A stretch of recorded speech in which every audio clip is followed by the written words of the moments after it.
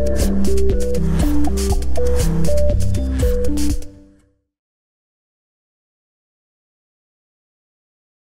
Bueno, desde las eh, personas eh, colegiadas del Colegio Vasco de Economistas y concretamente las personas que configuramos eh, la comunidad de género, identificamos claramente la necesidad de cambio, tanto en el ámbito de la economía en general, como en las organizaciones y en la gestión de las mismas, así como en las personas, en este caso las personas colegiadas, una necesidad de cambio hacia una sociedad más igualitaria.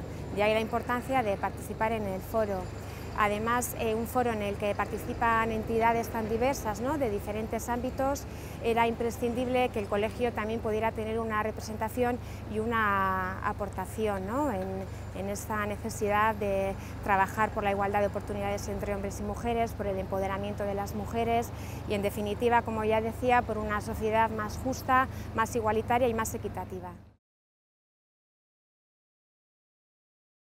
El Colegio de Economistas eh, hacemos la reflexión que la función clásica de la economía siempre ha sido satisfacer necesidades. ¿no?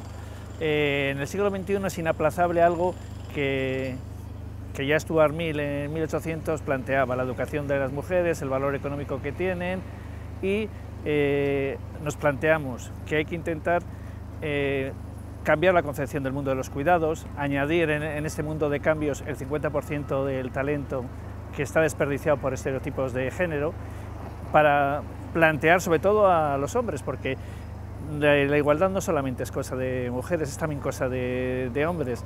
Entonces, eh, la charla de Richard Bacete con Nuevos Hombres Buenos lo que es, intenta suscitar nuevas mentalidades, nuevas masculinidades, de forma que entre todos eh, colaboremos en ese concepto llamado igualdad.